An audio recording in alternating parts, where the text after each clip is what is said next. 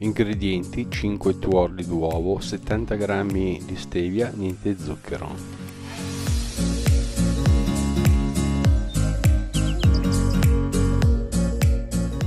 Unire la stevia con le uova.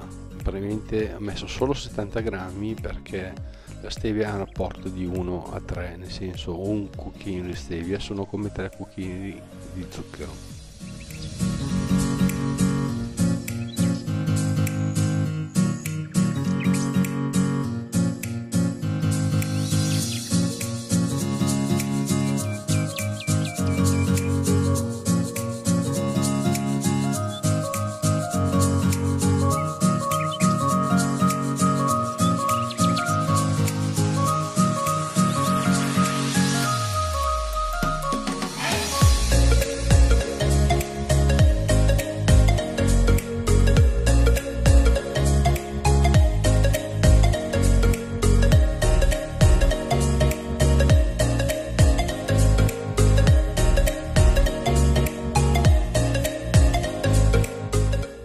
Dopo un quarto d'ora si presenta così.